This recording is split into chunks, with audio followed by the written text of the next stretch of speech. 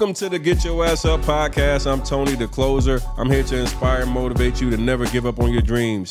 As a former NFL athlete who overcame personal setbacks like going to jail and bankruptcy, I turned my life around to become one of the top salesmen in the world. In this podcast, we'll feature celebrity guests, successful entrepreneurs, and my incredible network to give you real world advice on how to achieve success in all aspects of life. Whether you're looking to build a successful business, achieve financial freedom, or simply need some motivation to keep pushing forward, we've got you covered.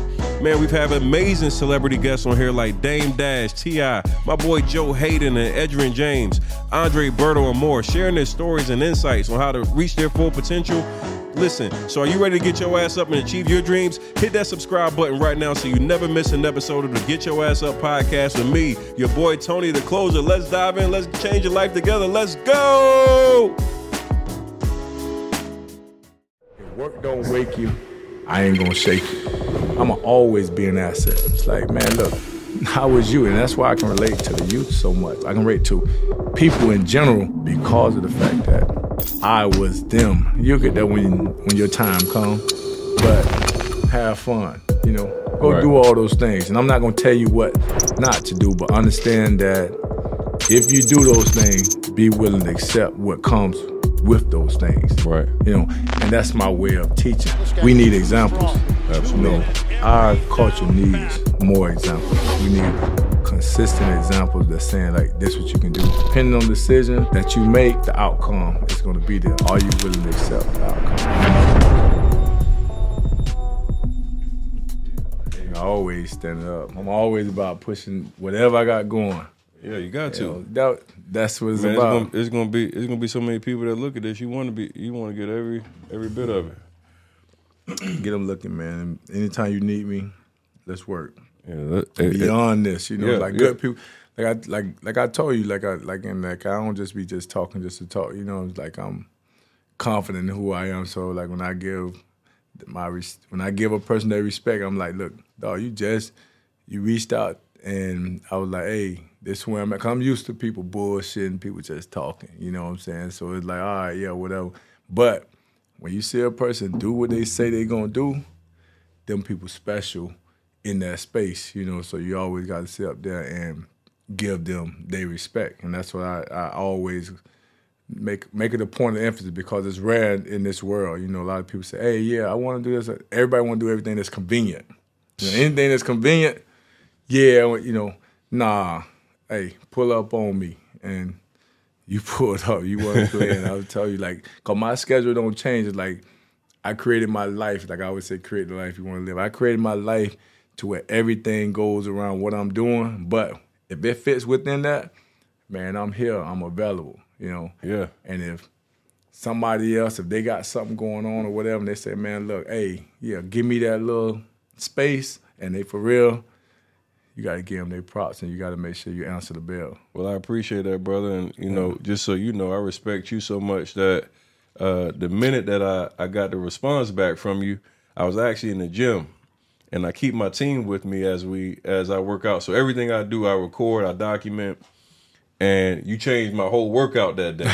I was doing legs, man, and uh, I'm sitting here like, hold on. The Edge done said he down to do an episode with me.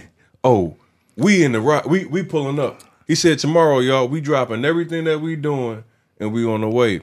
Uh, one thing about it, I, I, I understood in life that that opportunities and speed love each other. When you take opportunities and you have them in front of you, you got to take advantage of it. I know I could have probably waited till you came back to Miami or waited till you came back from Indy. I said, no, sir. Yeah. I wanted to let you know how serious I am about having you as a guest on this show. So, welcome to the Get Your Ass Up show. We got a Hall of Famer, fourth overall pick. Back, what year was that? Uh, 1999. 1999. Yeah. Uh, we have Edgerrin James. I appreciate you spending time with me today, man. My audience is definitely about to appreciate having a legend, an NFL Hall of Famer on the show today. And brother, thank you so much for taking your time to sit down with me today because uh, just even walking through your establishment, I can see what your life is like. You're not messing around. You got plenty of business going on, uh, and I wanted to really, you know, sit down and pick your brain. Uh, and as I was watching some stuff about you, I realized the businessman that you are. and I walked through your building uh, before you got here, and I saw you had your entity structures on the wall. and You like the whole setup. You had multiple. I was like, man, this is he, he's sitting out here. He must be having conversations with my dad because that's something that my dad is really big on. Is having your your uh your your business properly structured, having multiple companies and uh and holding companies and, and management companies, etc. And I saw it on the wall. I said, man, brother, know what he's doing here. But once again, man, thank you so much for taking time to join me on the uh, podcast today. Nah, man, I appreciate it, man. I tell you, like, I always connect with the real. I, and like for me, I'm a kind of get a feel for a person by their approach. You know, I'm always stay me, but I'm gonna put the situation to where it's like if you really want it, if you want to do it, i I'm not gonna tell you no. If I see a brother doing something, I see somebody doing something positive. I don't care if it's brother or not, but I see a person doing something positive, and especially if it's a brother, you know, I'm gonna be like, man, dog, dog really want to do something, and he's serious about it because this world is full of a lot of people that just talk. You know, mm-hmm. everybody mm-hmm. talking, everybody want to end up being the end product, but they don't want to go through all the things that it takes to actually become.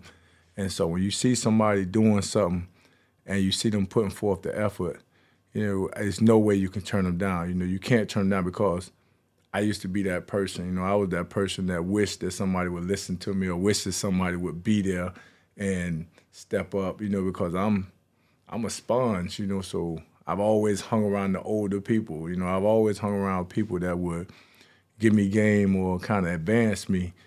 And you have some people that brush you off. A lot of time people brush you off. And it's not that they just brush you off inten- intentionally. They brush you off because they know that everybody that's usually just talking. Right. You know, but when you see somebody that's real, you know, it's like the antennas go up. I'm like, yeah, dog, serious because I'm like, I said, hey, this where I'm at, this my schedule.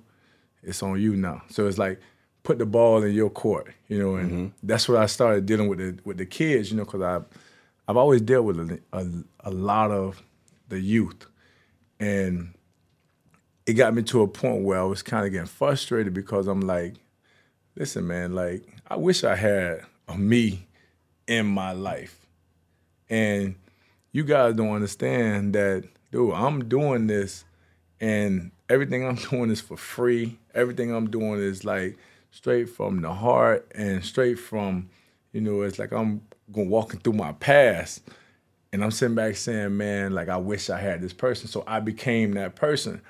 And then you start seeing that everybody playing games, everybody not really serious about what they're talking about. This is the stuff I talk about all the time, and bro. That's and that killed and, and, it, and it used to kill me. So I started saying, you know what? I was, you know, at one time I went through a phase where it's like you forcing people, hey, you got to do this, you got to do this, you got to. That's not, man, not, that, that's not the way. You yeah. know, it's ten people, but it might be one or two that might really grasp it. And so I started saying, you know what? Let me just put it in their hands. I put everything in everybody else's hands. If you say you want to do something, all right, I'm gonna put it in your hands. If you want to do it, hey, if we got to be up at 6 a.m. At 6 a.m. we're gonna work out. We're gonna do this round. I'm be there. Right. I ain't calling you. My grandfather, he used to say he had this this saying. My grandfather was a was a contractor, and he always led people, but he never asked nobody to do nothing. He would never sit up there and beg nobody. And he would have this thing where he say, if work don't wake you, I ain't gonna shake you. You know, he's like, I ain't waking you up, man. If it's serious enough to you, you'll get up. You'll be there. So I always hung on to that to where it's, man, look, I ain't chasing you. Dog, if it means something to you, look, you'll be there. Mm-hmm. I'ma always be an asset. And I make sure I put myself in a position to be an asset in every situation. If I'm not an asset, I'm gonna try to find a way to become an asset to the person mm-hmm. or to people to where it's like, hey, you want this because anything that I want, man, if I if I need you or if I want to do something with you, I want to be involved with you, I want to be down, I'm knocking on your door. I'm calling you. I'm gonna call you multiple times. You're gonna get tired of me calling you because that's what I just, want. Did I not just say this at uh, dinner a few minutes ago? I was like, hey man, there's a couple people that I wanted to get, and I said they're gonna either get tired of me, or Damn. or they gonna they gonna have to I'm knocking on your door. Like it means something to me. It, it, has to mean something more to you than the person. So I'm gonna knock on your door, and I am not gonna I'm not gonna belittle myself. Mm-hmm. I'm not mm-hmm. gonna sit up and embarrass myself. But I'm gonna do it in a respectable way. But I'm gonna let you know that I'm serious. Right. And a lot of people won't go to that extreme. They they sit up there and say like, man, I ain't chasing nobody, or they feel like you got to chase them. And then it's so crazy nowadays. It's it's done trickled down to the kids. I'm like, listen, kid, like, dude, I'm I'm somebody. And you may not see me as somebody because I try to appear as normal, but dude, you don't understand. I'm really somebody and I'm here to help you. Like, you don't have to give me a dime, you know, and and it's like, I'm not coming to you because I need you or because it's something that I get out of it, you know, it's right. just because of an obligation that I feel like, man, I'm looking at myself in a mirror and I'm like, dang, that that was me. Right. And so you, a lot of times it, it, can frustrate you. It can put you in a situation where you're like, dang man, I'm doing all this stuff, but these kids not they not listening. They hard headed. And like, I ain't chasing no kid. You know what I'm saying? Because the cream rises to the top. Yep. The one that wants to be will be.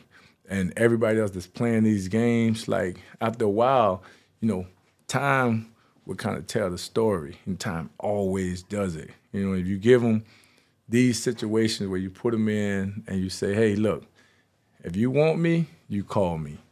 And you better be on time. We call it Dungy time. Coach Tony Dungy, that's mm-hmm.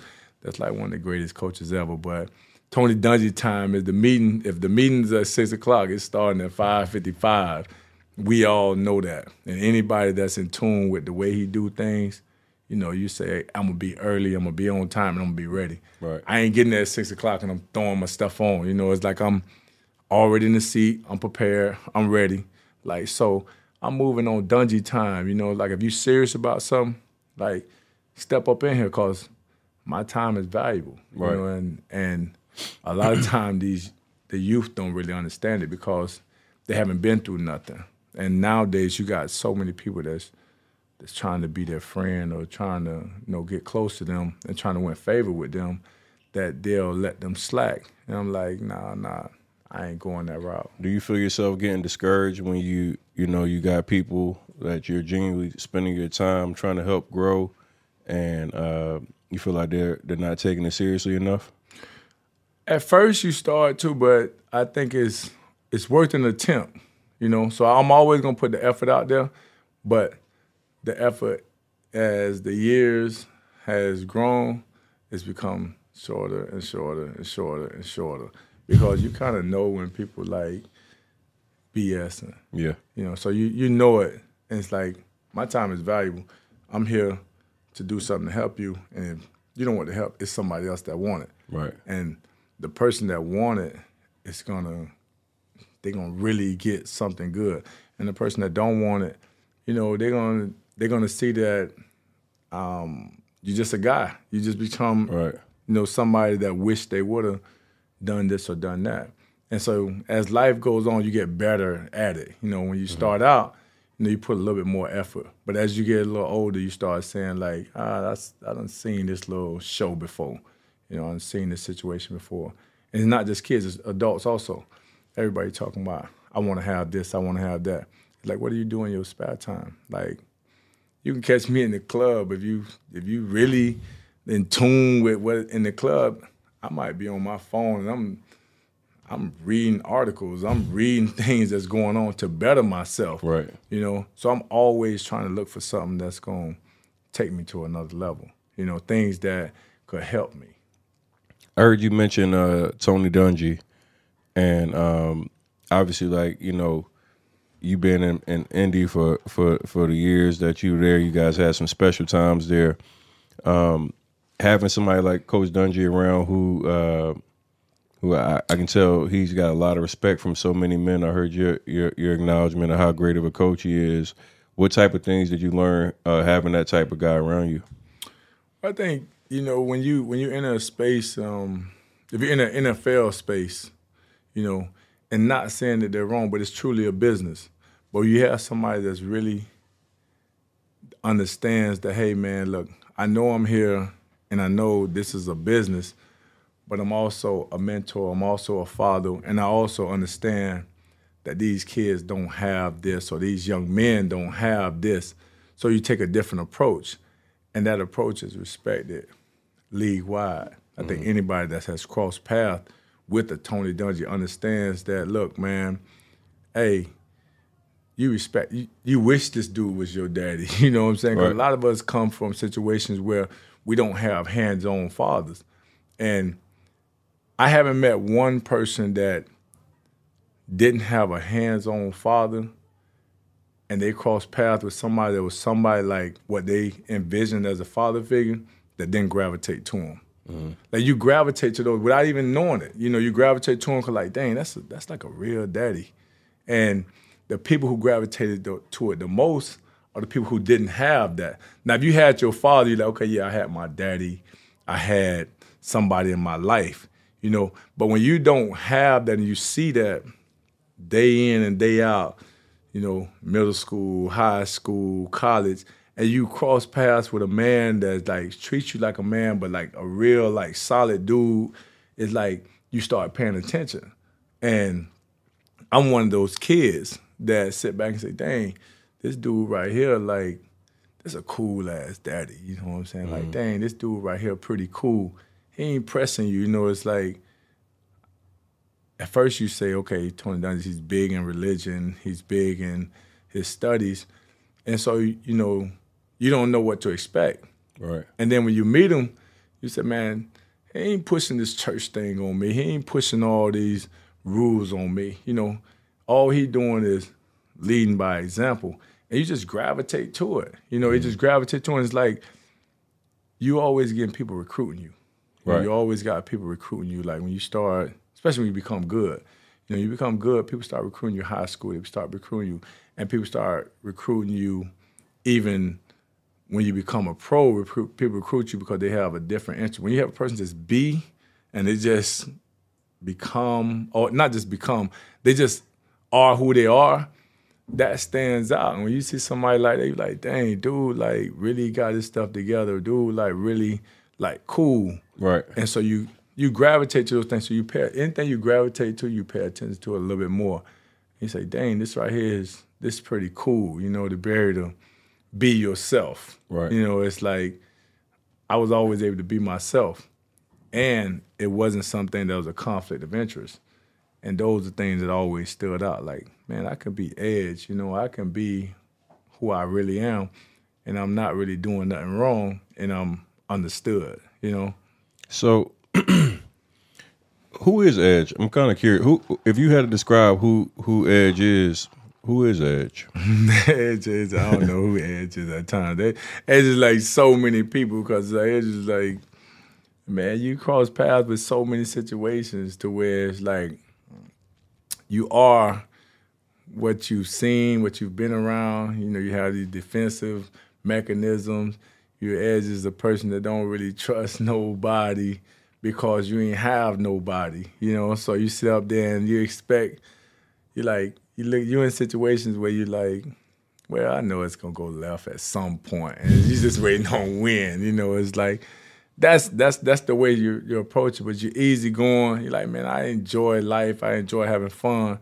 But it is what it is. So I'm not getting mad at nothing. I'm not tripping on nothing. You know, it's like, like I understand like who's here, who's not here, and I got a chance to witness. Okay, I remember I go through high school.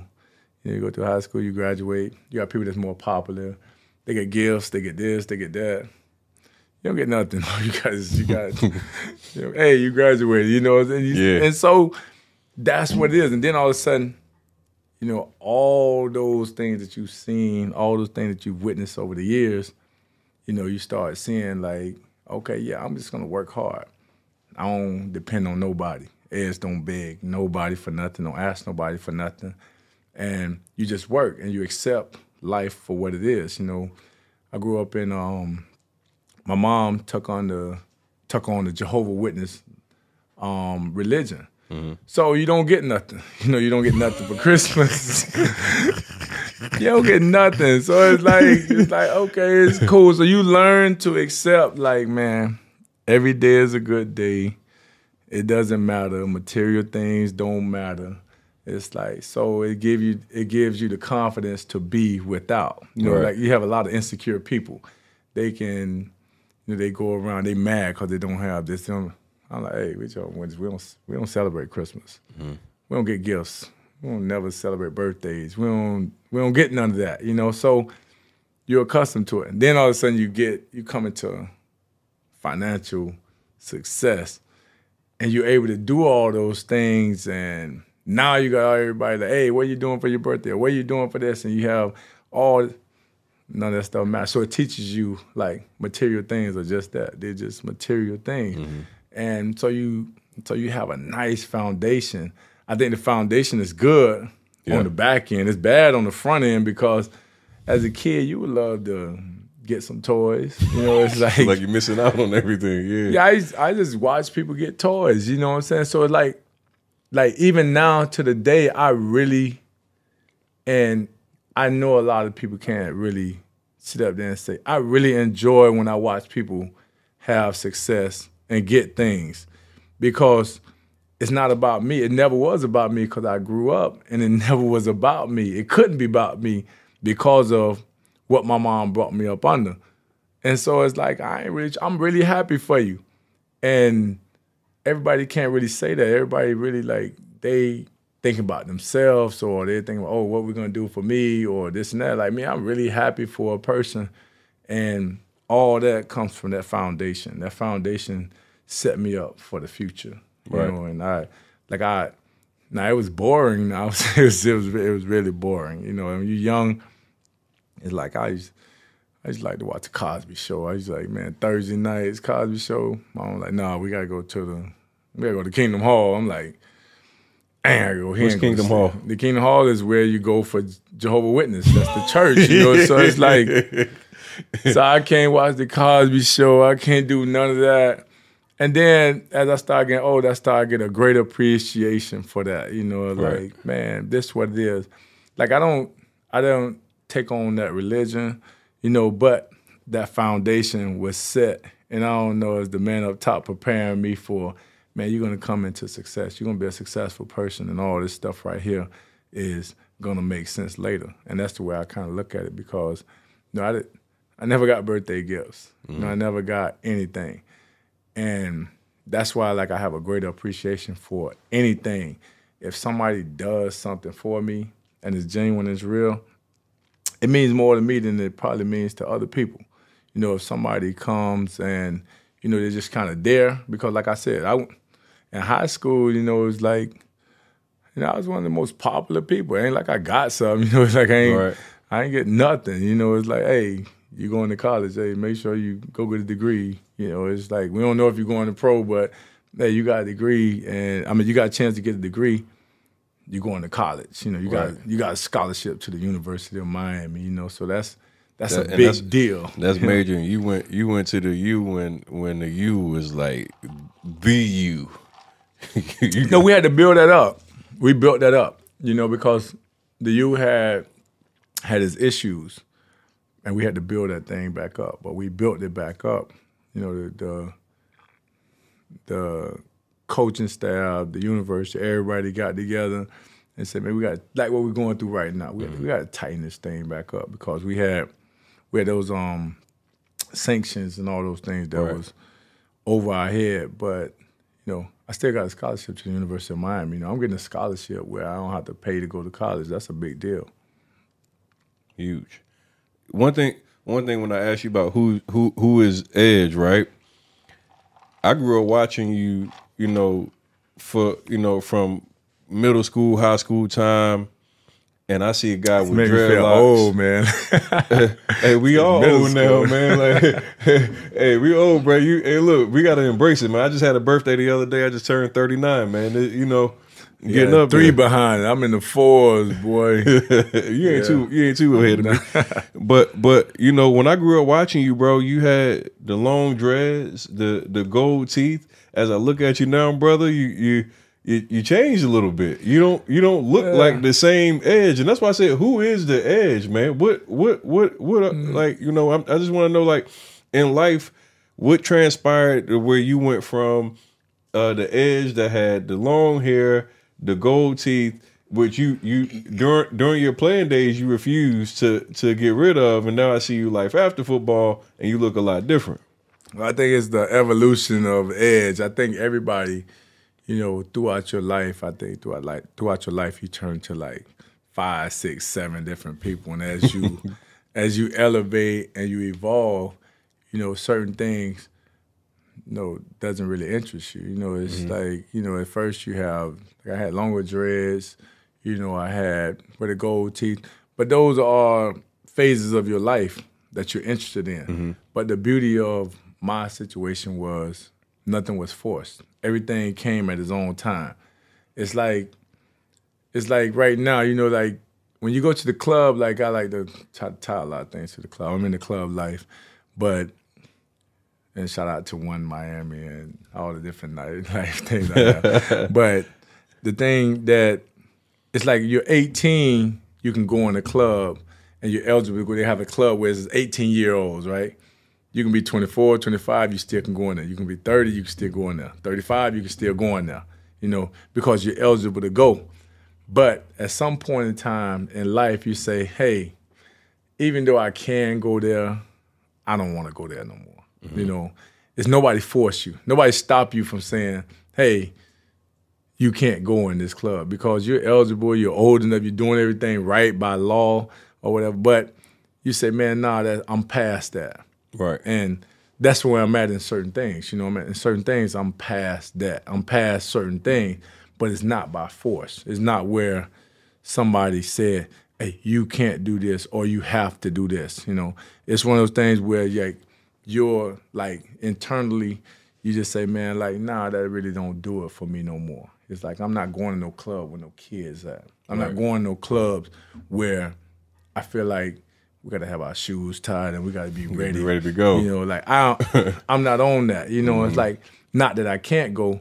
It's just I'm not into that. Right. And so when it comes to yourself as a person, you know, I think everybody evolves to a point where we say, "This is where I'm at," and you start saying like, I kind of like this vibe right here. I like going over here.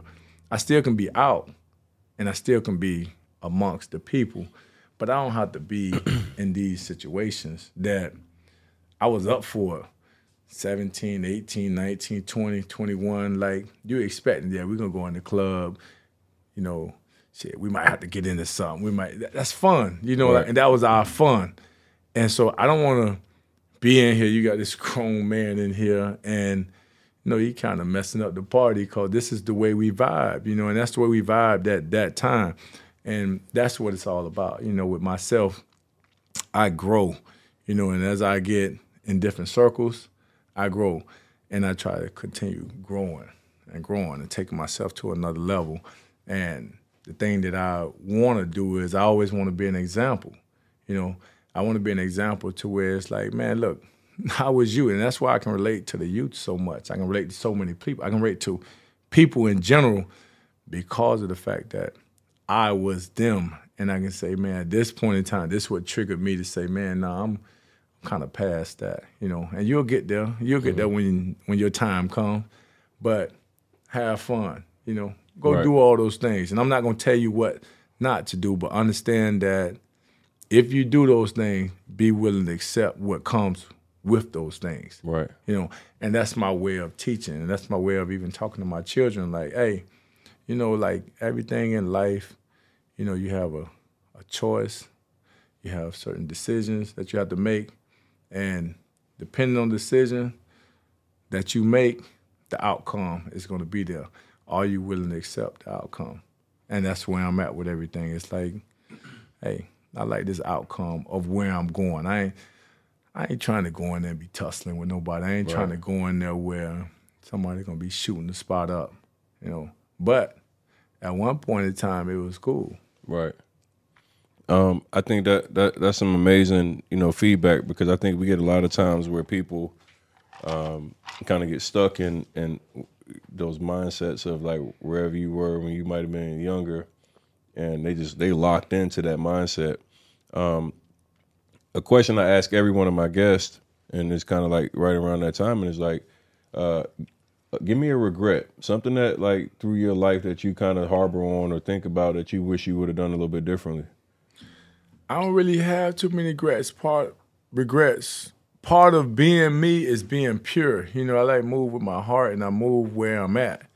You know, so I don't really have too many regrets. And if I had to look back on my life and I look back on the opportunities that was afforded me, I would say I've crossed paths with a lot of successful people, and I never let them in. And it's not my fault. It's my upbringing. It was the way that I was raised. Like I ain't trusting nobody. I ain't mm-hmm. letting nobody in. And in hindsight, it worked because it's more bad people than good people that come at you. So I kept out the bad people, but probably? I blocked the yeah. good people. So if I had to say things that I wish I had a better assessment, and that's where having those mentors, having those father figures, having those people in your life could sit up there and kind of cipher through and say, man, look, now this is a good dude or this and that. Don't push him away. I push everybody away. Like, nah, I'm over here, man. Like, I'm good. You know, like, mm-hmm. man, I got to fight for myself. You know, I'm just fighting for myself. I ain't, I don't need nobody else because when I needed somebody, nobody was there. So now I'm like, man, I got it. You know, and mm-hmm. everything I got is more than I expected to have or anybody expected me to have. So I, I'm in a comfortable space, but I probably could have been so much farther up if I would have let people in. How, how much further you trying to go, man? You done did some amazing stuff. like I, I mean, mean, I still go to the airport. You know, it's like to my body going like it's like, man, I think I think you always have to like reach for things that are attainable that are far. You know, it's like you can sit up there and be content. You know, you say how much farther do you want to go? That's like a person that's kind of like limiting me or sitting up there saying, hey, I got restrictions on you. You know, it's like put me in the same conversation of the person that has everything. You know, it's like I think life is a chase. You know, you have mm. to keep a chase. Once you lose your chase, it's like people that you take a person that's worked all their life and all of a sudden they retire. For some reason, they just die. You know, it's something about the chase. And for me, I don't think I'll ever stop chasing. You know, I don't think I'll ever stop, stop chasing because the things that life affords you and things that you can obtain, you know, and the amount of people that you can help, it's right. endless. Right. You know, so me, I'm I'm never gonna stop chasing. I'm never gonna stop sitting up there trying to mm-hmm. better myself and be an example because we need examples. Absolutely. You know, from a cultural standpoint, we need examples. We need people that say, man, look, I went through what you went through. I did what you did. And look, I'm able to obtain this. And so we need so many examples. I think these kids are sitting up there looking at so many bad examples or they're looking at unrealistic examples to where you need you need to be an example and you can help this group. Not saying one group is better than another, but our, our, culture needs more examples. We need consistent examples that saying like this what you can do, and then you'll see it helps the whole. I, I couldn't agree with you anymore on that one. Um, one of the things that you know when we talk about being examples is, you know, for me, I I got a I was an undrafted free agent. Um, ended up hurting my foot and getting released, and um, recently I just you know NFL season's about to kick off. Uh, you got the 90 man roster comes down to 53. And there's so many dreams that get cut short, so many people that thought they had an opportunity or thought they were going to be the next best thing that now they get smacked back with reality. I remember when uh, Will Lewis called me and told me that they were no longer using my services, the depression that went through me. Um, I had always been in every level. I played the best player on my team or or one of those guys.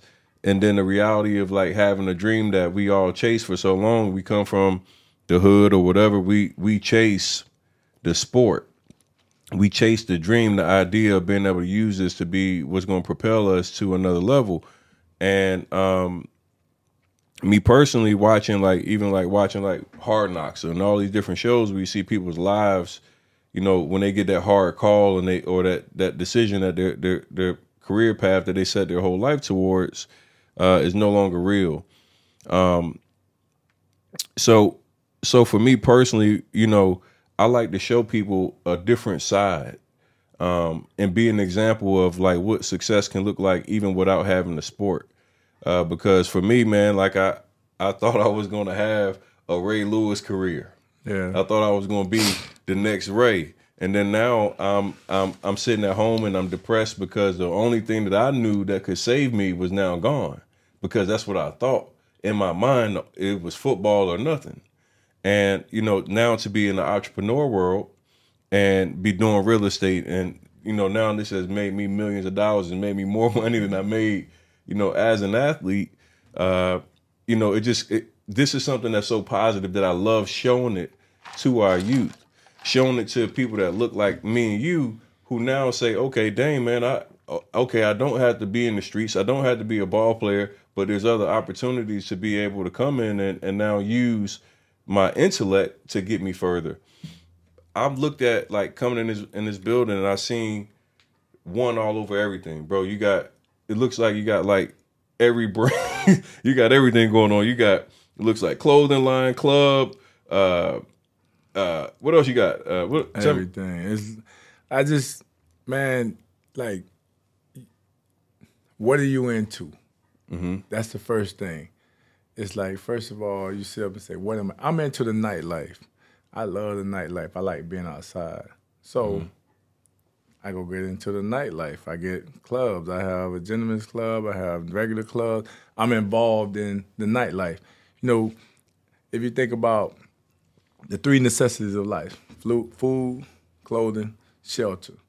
I said, man, let me get over 50%. So let me get in the, the clothing, and let me get in the I deal, I deal with the real estate. So I just think it only, it's only common sense. Mm-hmm. It's only common sense to get involved in things that are necessities. And plus, what are you into? It's like I never feel like I'm working. You know, everybody like, and you chilling every day or you don't but I'm working but I'm having fun. You wouldn't know if I'm working or if I'm having fun. Right. And once you get to that space right there, that's a good life because most people are living a life that they're trying to make an ends meet and they're not really happy. Like I'm really satisfied with what I'm doing because every day I'm doing something that I don't mind doing. And if I was working another job, I would take the money from that job and put it into these things that right. I already have. So that's what I did. I said, I'm only gonna do things that I'm into. I love to read books. You know, I like to read, I like information. I wrote a book from Gold Teeth to Gold Jacket. You know, I'm not I'm not gonna do Hold on, let me interrupt you real quick. Sense. Hey y'all, first off, man, um, Gold Teeth to Gold Jacket, where can we get the copies at? We can find it on edgerrinjames.com or you can go to Amazon. Just so y'all know, man, first and foremost, his brother is is is, getting it done. the foreword by Peyton Manning, it, it, that's lit. called the Big Dog Zone. You know, like, but you know, it's like, you know, it's not. It's, it's one of those things where it's like I never like to rely on nobody. Mm-hmm. You know what I'm saying? But at the same time, when you're doing things it's like you can't be too prideful to be like, man, let me call P because this is my boy and we don't put in some time. But I'm not gonna be so prideful to be like, I'm not gonna say, hey, can you do my foreword? Because you know the answer is gonna be yes. But I think too many times from a cultural standpoint, we're so prideful to where we would not ask somebody, will you do this or will you do that? When it's an easy yes. Right. You know, like, oh, I don't mess with the east side. I don't mess with the west side. I, and I and I and like from a business standpoint, man, I see so many of our people restrict themselves because they can't do this, or somebody gonna look at them like, why are you sucking up to this person, or why are you calling on to that person, or you know, when it's like, come on, man, like I have a relationship with this person. You know, yeah. I'm cool with this person. You know, if it wasn't for y'all, I'd be over here a little bit more. You know, and so it's like, come on, man, like once we understand or once we learn that everybody's needed is not that you're dumbing down or you're sucking up this person or you're switching out. to where it's like it's business, you know. And for me, it's like I could easily go and do the same thing. I don't have to call. Like I'm, I never been somebody to name drop or this and that. But that's truly my friend. You know what I'm saying? Mm-hmm. So it's like if that's my friend, like why not say, hey, look, I'm doing this. Um, I'm putting this thing together. Hey, would you be? A, would you take part in it? Right. And but we're so prideful because we've been taught to be like so prideful to where you say, okay, I don't ask this or I don't do this, I'm not doing that. When it's like, it doesn't even make sense to where if you're all right with somebody or you dig in the way somebody do so, or somebody can help elevate you, why not sit up there and say, hey man, hey, can you do this? And they can say yes or no. Man, that, no. that's what I did with you, bro. I reached yeah. out. I went, hey, look, I said, man, we got we got Edge. I, bro, I sent Automatic. you. Listen to me, man. Y'all think I'm joking, man? I was sitting in the gym, and I just happened to check my phone for something. I don't know how I saw your name, but I was like, damn, it would be dope as hell to get Edgerrin James on the show. I seen you that message. They ask you, no bullshit. They'll tell you. I looked. I said, "Oh shit!" He just responded. Tell you, pull and, up. And, and, and, that's and that's the one thing like the pride is something that that that we gotta we gotta remove i mean it goes both ways it goes both ways right it's like if you don't remove it you just one less player in the field you know what i'm saying for the people who don't sit up there and put their pride in the way or sit up there and restrict themselves you know now they have more opportunities it's like Think about it. If I say, man, I only mess with the west side, I done eliminated the whole east side from me taking myself to another level, right. from me being who I want to be. And I think that's one problem we have as a culture. You know, we restrict ourselves too much. I don't know if it was planned that way or whatever, but we got to fight through that. We got to sit up and say, man, look, if I deal with somebody or if I feel like this right here can advance me or these things right here are good, we have to take that pride and put it to the side because it's about the bigger picture. Because I don't care how prideful you are, once you become that big dog, everybody rocking with you. Mm-hmm. You know, it's like, mm-hmm. and so everybody play all these games, and sometimes it be those people that don't have nothing going for themselves, or don't really have potential, or they they like insecure that they hold you back. Yep. It's like if you ever get around real business people or you ever get around real like positive or influential people, they understand like, man, this life is about people. The more people that you can engage with, the more people that you can like interact with, the better your chances of being successful. But we restrict ourselves too much. And it's one of those things where it's it's hard but at the same time, once you get the confidence to say, man, I'm just gonna do what I do, and that's that's what I, have always been my own person. You know, it's like, man, you say, oh yeah, I don't mess with this person. All right, that's you. You don't deal with them. All right, cool. I crossed paths with them. They was cool with me. It's cool. I like. It's okay. Now, do I have to put them together? I don't have to put them together. It's more t- enough time in the day, and you can restrict yourself if you want to but I'm not going to restrict myself. I'm not going to restrict myself. I can't talk to this person because you have a personal problem, because you and the girl or this and that. You got all this stuff going on. Or you might see somebody say, oh, this girl is not this, this girl is not that. It's like you forgot you left out to you. You know what I'm saying? To me, it might be a different thing. Yep. And that's a big problem that we have, you know, and I can't I can't speak for everybody, but if you're around a lot of the other cultures, they doing business. They can be done cuss each other out every day, this and that. But when it come time to sit across from each other, man, they gonna put that paperwork, they gonna do this, they gonna do that. Our culture, man, I ain't coming. I ain't I ain't doing it. And when we say why are we so far behind, look at all the little things because man, we some sharp people, man. We're very sharp, you know. But we're not sharp when it comes to mentality. The mentality. Know, because we sit up there and we restrict ourselves. It's like you know you say you're on, you're in your own way. Mm-hmm. Sometimes we're in our own way. Not saying all the time, but sometimes we're in our own way. And then you look at the dude that he could be like square or he could be somebody that's not the most cool dude, but he steady elevating, steady elevating. He's just playing that game the right way. Playing the game. He positioned himself, and now you see him being the big dog, the boss. And you're like, hey, how you get there? And you can sit up and do all the talking you want to, but he's there, you know. And not saying that you have to suck up to people, not saying that you have to be something you're not. I just think that you have to understand, look, man, this whole thing is about people. You know, if it's 300 million people in the U.S., I want to connect with every one of them. You know, but if I say, man, I only deal with males, I just eliminated it. Eliminate some. Yeah. I only deal with blacks. I eliminate myself. I only deal with this. Every time we sit up there and put a restriction on something, we cut ourselves out of an opportunity. And that's one thing that I try to be more conscious of. You know, it's like I ain't gonna say I'm not gonna say you supposed to deal with the bad people. Right. And what you deem as bad is that's a personal decision. You know, you can say, okay, this dude is bad or it's not good for me or this and that. But let it be real. Let it be something where it's um it really has some substance. And you say, I really can't take it.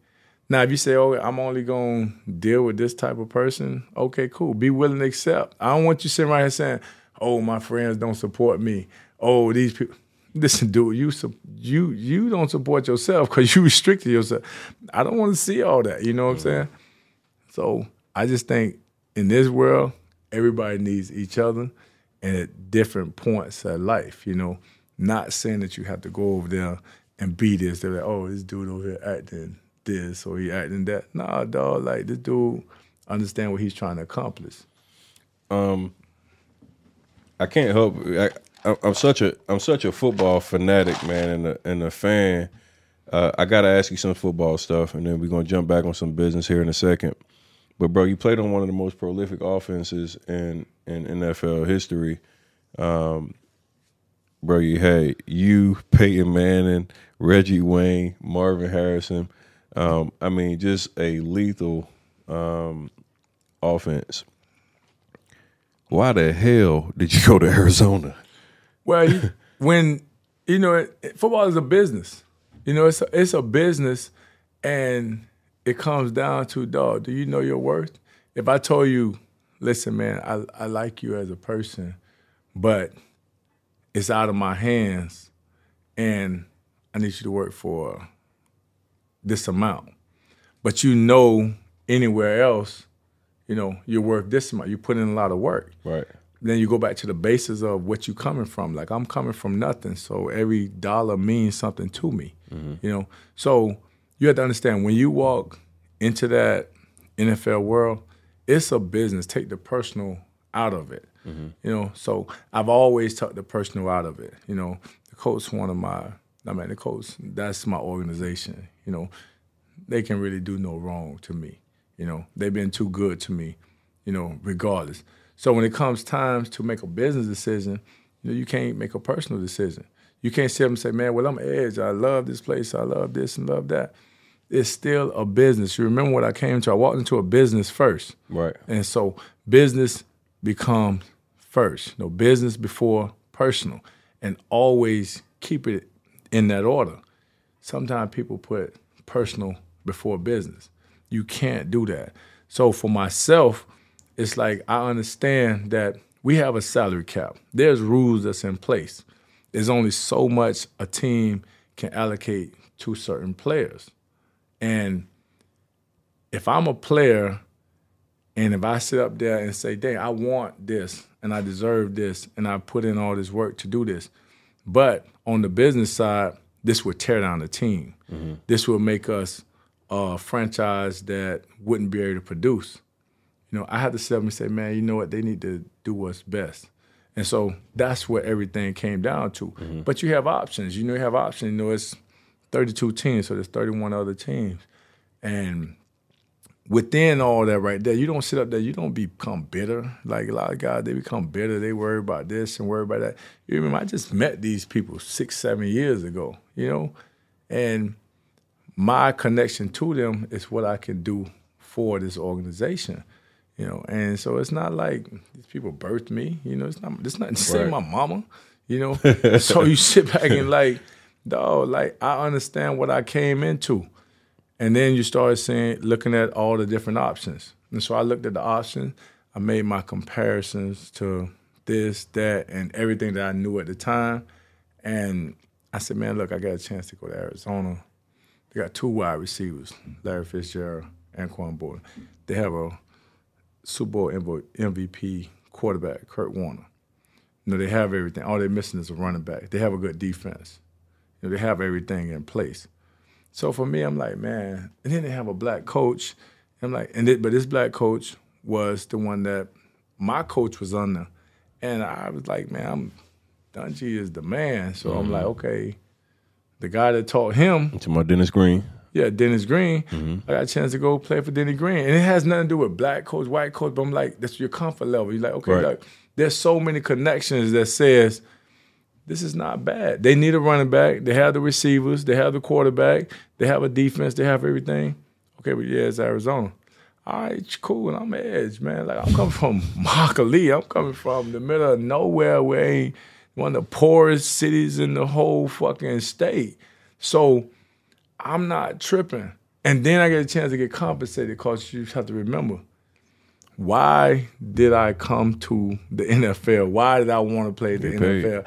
I wanted to make sure that I'm able to change the structure or change my family outlook on things.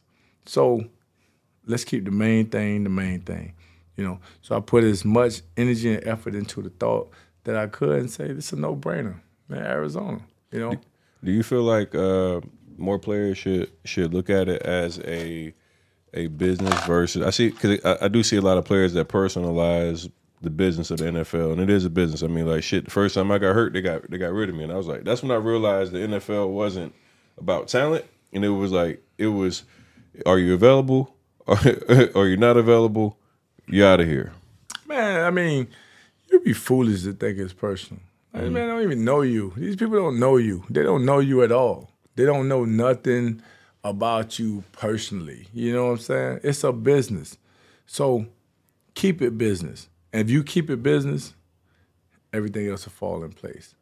Once you make it personal, that's when you you tread on thin ice, you know, because you making it personal when these people don't even know you. It's like it's gonna be another guy. It's always another guy. You want injury away from not even being on the field. Right. So if you don't treat it like a business, I've always treated it like a business. That's why nothing fazed me. Nothing can faze me when it came to that sport because I've always treated it like a business. it didn't faze you when uh, the, the boys went won a Super Bowl right after that. I was there. I was hanging out. You know, it's like shit. I get to hang out. You you have to understand, like, if I don't make money, it fa- it, it fazes me More. because now my purpose was to take my family out of this situation. You know, like I man, I got dudes don't offer me their Super Bowl ring and all this stuff for money. You know, so it's like those are the telltale signs that let you know, like, man, those rings are cool and that moment is cool, but at the end of the day, it comes down to, man, who gonna pay these bills? Who gonna take care of my family? Who gonna be able to help this situation when it comes? Because that's what this world is about. It's a capitalist state. I'm a capitalist world. I'm the United States, that's where we at. You know, like if you don't, I don't care what you've done in the past. If you don't pay the rent, man, you getting up out of there. Mm-hmm. And that's the that's just the basis of it. That's as simple as you can make it. So I've always understood that.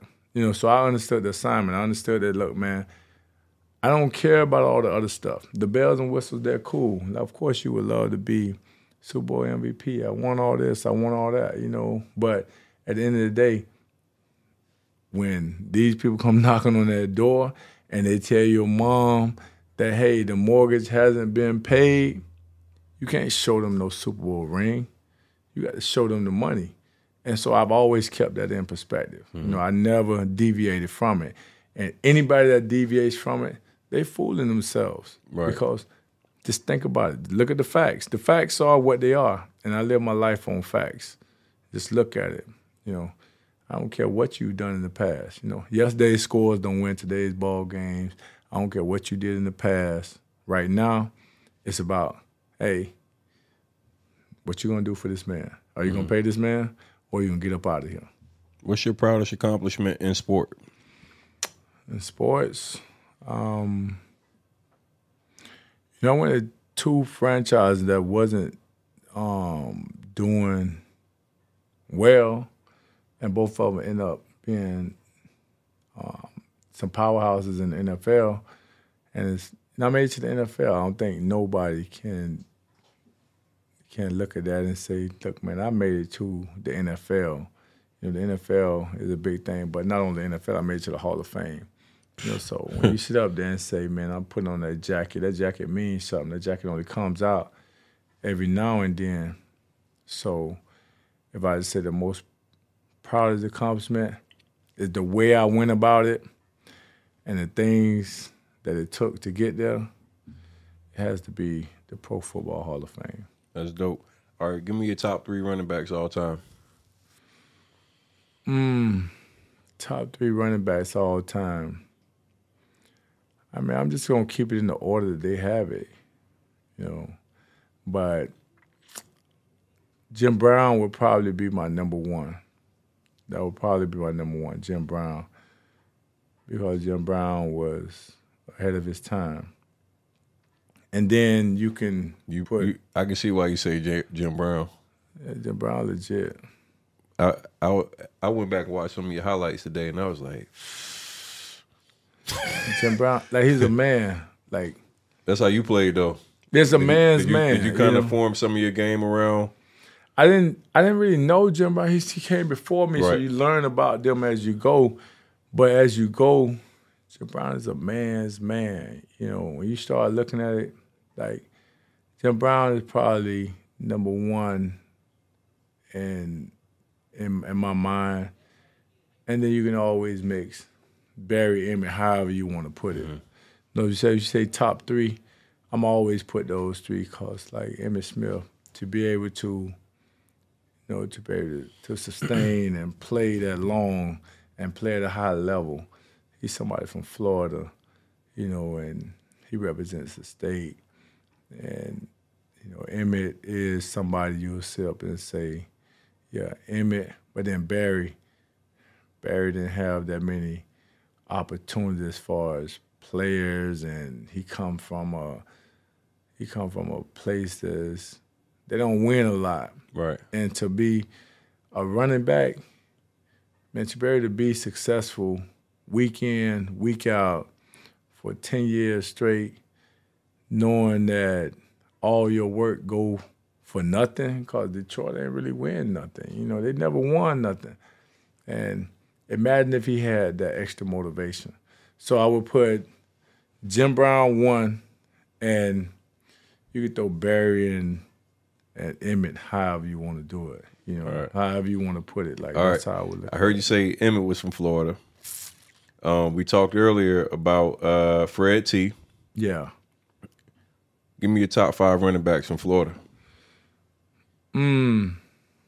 I'm never gonna put myself in the equation. You got to be in the equation, man. You got to go jacket. Stop. I mean, stop. I, I, like, I, nah, you, got, you, you in the equation, bro. You in the equation. You got to go jacket. How many of them got gold jackets? When they Emmitt? ask, when they when they talk, go jacket. Emmitt? But that's that's when they talk to you. When they talk to you, you do it. you know, I'm always. It's like, man, I'm I'm I'm big time Fred T. Fred T. My boy. Fred like, but like Fred T. One of my favorite. But Emmitt first. Emmitt first. From the state of Florida. I'm University of Miami bad, um, bias, so I'm always do that. But I'm going Emmitt first, Fred T.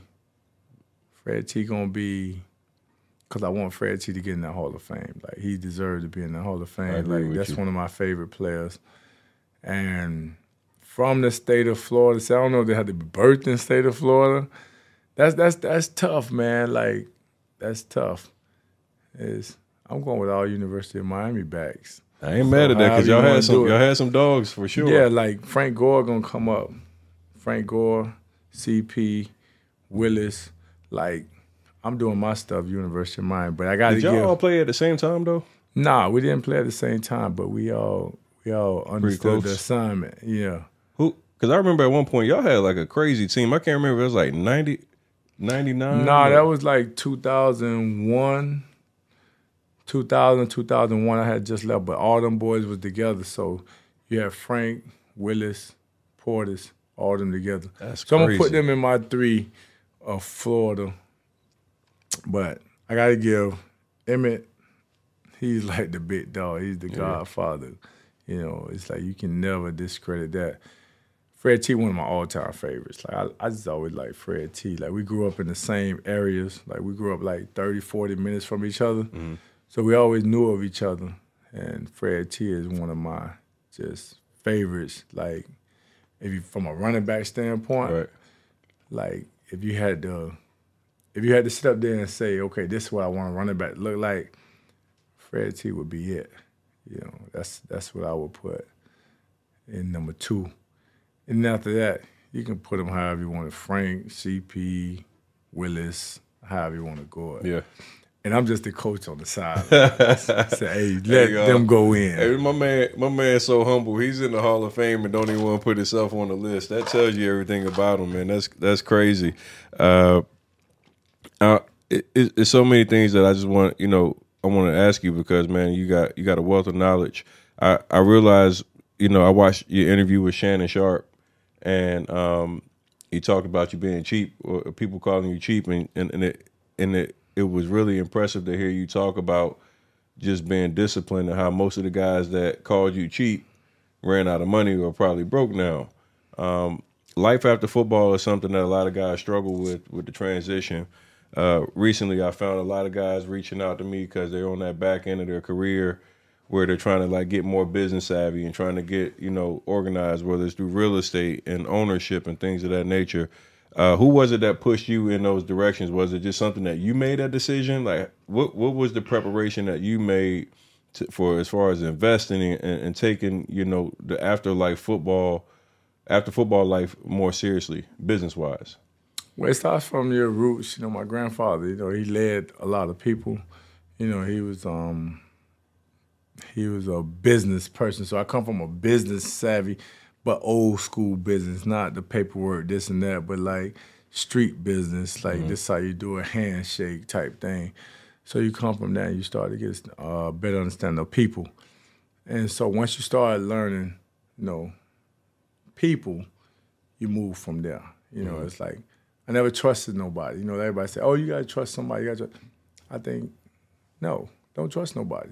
If you don't trust nobody, that means they have to give a little bit more effort to gain your trust or get inside.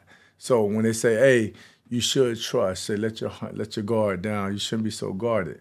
So I think that's one of the biggest mistakes that people make. They trust.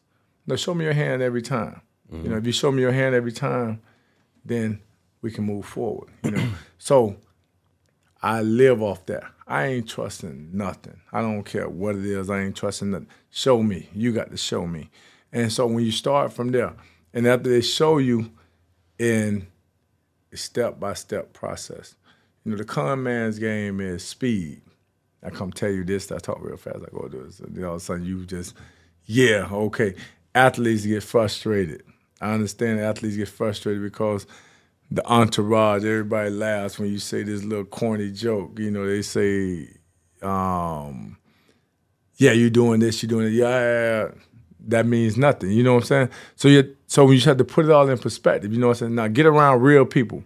Get around real people that really don't not gonna laugh at your jokes. Get get around people that's gonna sit up there and sit up there, take you for what you really are. You know. So that's the basis of where I'm coming from. You know. What um give some advice to the youngsters that's in the NFL right now, uh, business wise, because like you get the the guys come in, they get that check, you know, never had money before. From from a from a veteran standpoint, what type of advice are you giving a guy that's coming in now to to make sure like they don't go broke and that they can have, you know, a life that's comfortable after football? Well, the first thing I like, I never understood why like do nothing. You know, you don't have to do nothing and you're still gonna make the money you're gonna make. You know, educate yourself, get involved with real people. Real people come after you sit around and you sat up there and you've dissected them, and there's no clock on real people. Con people, there, there's clocks on there's clocks on con people. They have a time. People that isolate you, they're not good for you. The people that sit up there are not willing to tell you, hey, hey, go let everybody check. You know, go let everybody check it out and then come back and see me. Those people are good for you. So have these systems in place. I've always had these systems in place to where it's like, hey, if I gotta sit down and you give me this material, but you put a time limit on it. Time limits are the worst thing. You're already playing ball. You playing ball, you're making your most money right now. So make sure that you educate yourself enough and you understand like don't be pressured by the clock. The only clock you have to worry about is the game clock. That's where the real check's coming from anyway. So doing nothing is very important. And a lot of people get a lot of those kids get pressured thinking you have to do this, you have to do that. But hey, do nothing. Do nothing. Educate yourself. And then surround yourself with people that don't need you. Mm-hmm. I think that's very important. If you sit around people that don't need you, that holds you accountable, because I'm not gonna be somebody that don't need you, and you're gonna sit there and pull your little I'm gonna be late or hey I'm on my way, but you really in the house. I'm not doing that, and that's where the it's a lot of little things that lead up to why these problems happen. Athletes are, or a lot of time, the young athletes, they're in a situation where, you know, they're comfortable. They're comfortable with people that just, yes, yes, yes. They have a bunch of yes men. A yes man is never good. Mm. You know, you have to remember a yes man, you know, he says yes to everything and anything. And you're not the only person he says yes to. So you have to surround yourself with the right people. You have to get a core of people that sit up there. They don't need you. They're not gonna be yes men. They're backed by facts. They're gonna tell you what you need to do, and you can go to anywhere, at any place, at any time, and it's gonna stand up. And then once you get those things in order, you say, "Yeah, this is my guy." But you have to have self accountability. Right. A lot of these guys don't have self accountability because they're used to more people just agreeing with them tell them what they want to hear, and it feels good. But the reality of it is, is you still need to answer to somebody, or you still have a lot to learn. It's like the amount of money you make don't make you know everything. You know, it just make you more vulnerable. And a lot of these guys are so vulnerable. They don't even really understand it. They don't even really get it. And by the time you wake up, it's too late you're an older guy, mm-hmm. but you have all these people around you that's just telling you, yeah, yeah, yeah. Anytime a person says yeah, every like nobody's right all the time. You can't just be, you know, you need to really speak on facts. And I see it all the time, and it's is it's heartbreaking, but at the same time, they got the money. The money can move the needle. The right. money can surround them with a bunch of people that's gonna say what they want to hear. And the best people for you are not recruit they're not good recruiters. You know, the best recruiters are the people that's not good for you because they have more time. They spend their more time. They spend more time and energy into the BS or telling you what you want to hear or agreeing with you versus like the answer is what the answer is. No, you shouldn't do it. No, this doesn't make sense. You know. So if I had to talk to a young person, I would say, man, look, get you some discipline, get your team in order, or you're gonna find yourself living in regret. Mm-hmm. What was the biggest check you've ever received? Oh, throughout the years, I made I mean, so I think I think it was probably my, um, my franchise year. I was getting like four or five hundred thousand dollars a week. You know, so that was that was good money. But like nowadays, it's not a lot of money compared to some of the guys. Yeah, like what does it? like four five hundred thousand a week. All right, so you you getting four or five hundred thousand a week. How the hell can you listen to anybody or take advice from anybody when you're making that much money? That's the problem. It depends on who you are. You know, I'm a system person. You know, it's like we come through, get everybody, get all the information, come up with this system. If I'm getting four or five hundred thousand dollars, it's going here or it's going there. I'm not even focused on the four, four or five hundred thousand. I'm focused on what I gotta do. I'm always thinking about the next move. Mm-hmm. I'm always thinking about, okay, yeah, that money's made. You know, I don't have to worry about that money. I'm always looking for the the next opportunity. But, you know, with a lot of other kids or a lot of these younger kids, you know, they may look at it and say, "Oh, it's four or five hundred thousand. I can spend 10, 20. You have to remember where I'm coming from. You know, twenty thousand dollars. That's a salary for a person. Right. You know, so I'm li- I'm looking at things different. You know, and I always looked at things different. Did you I, ever get caught in a trap of like knowing you got a half million dollars plus coming next week, so I'm, I'm gonna spend two three hundred Nah, never. Nah, because I like you. You have to go back to my base. My base. I know where I'm coming from, and I have a purpose. You know, I understand the purpose. I understand the assignment. To where every dollar means something. You know, it's like I used to go out and do this work. You know, I used to do this work. I used to work in the watermelon field, and I never forget this number: seven two seven four thirty five. You know, it's like I work seven a.m. to seven p.m and this dude hand me $35.